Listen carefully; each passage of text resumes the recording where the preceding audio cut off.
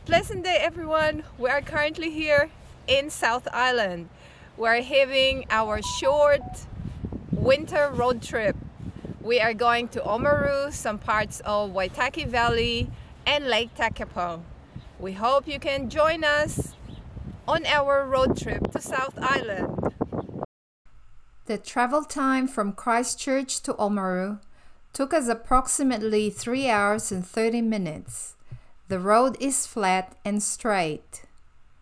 Look at that view.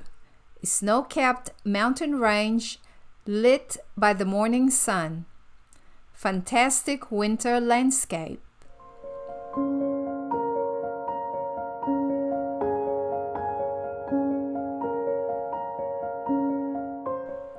Hubby wanted to stop in Timaru for lunch. He heard about May's pies and would like to try it. We found a place, but the shop is closed for renovation. Hubby's eyes lit up when he spotted a bakery across the road. So off we went to get some meat pies.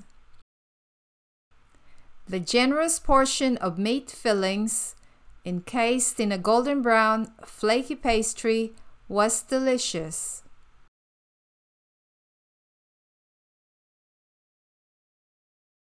Oamaru is a Maori name meaning place of sheltered fire. It is the biggest town in North Otago in the South Island of New Zealand. In 1853, a European settlement began.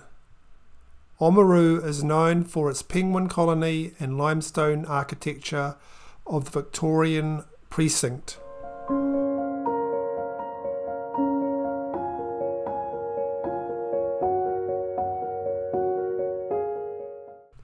Victorian precinct is like a small European street.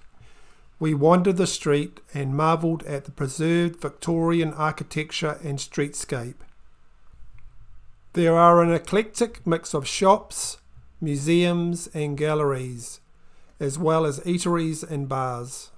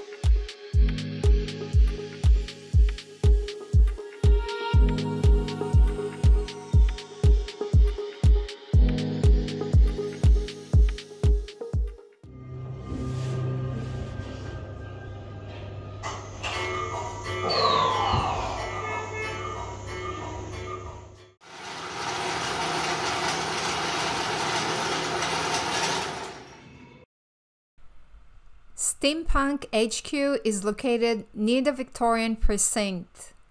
What is steampunk? It is the futuristic vision of the 19th century Victorian England. The museum has a maze of unusual interactive artwork and bizarre gadgets.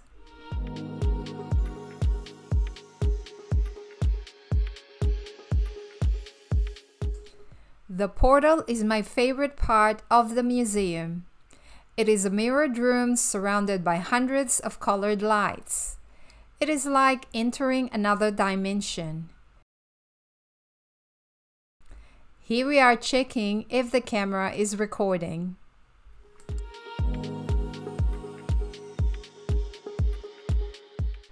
We were mesmerized by the glowing lights changing its colors.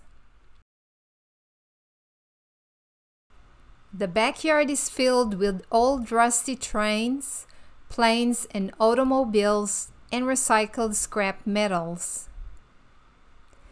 There are three words to describe this museum weird, wacky, and wonderful.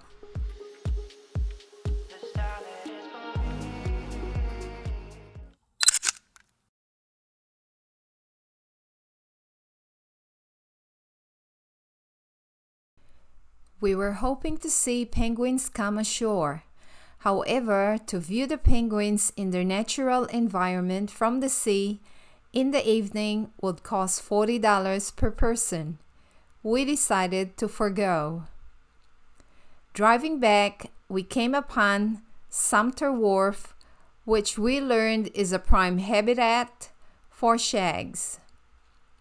There are so many shag colonies around New Zealand. Did you know that one third of the world's shag species are found in New Zealand?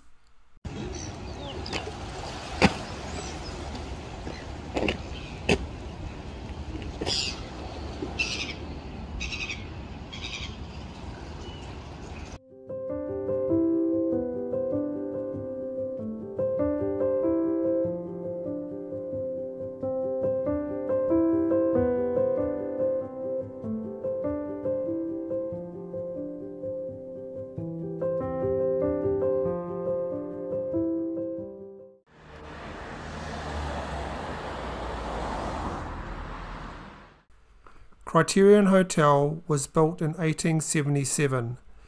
This building was restored to reflect its past as closely as possible.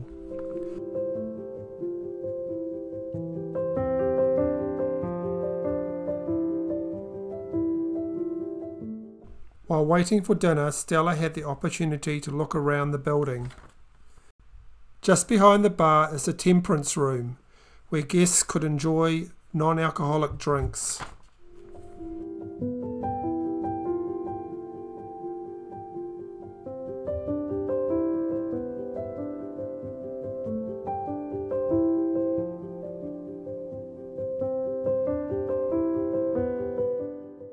We ordered typical pub grub, bangers and mash and fish and chips. The food was simple, delicious and very good value.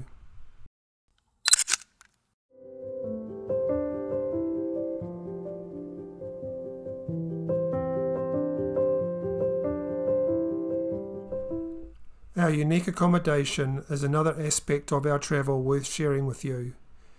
We stayed in Poshtel, a boutique hotel where every room has a theme.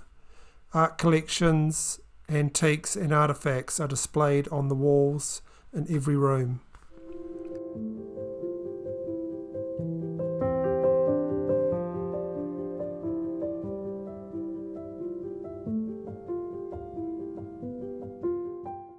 This concludes episode 1 of our winter road trip to South Island.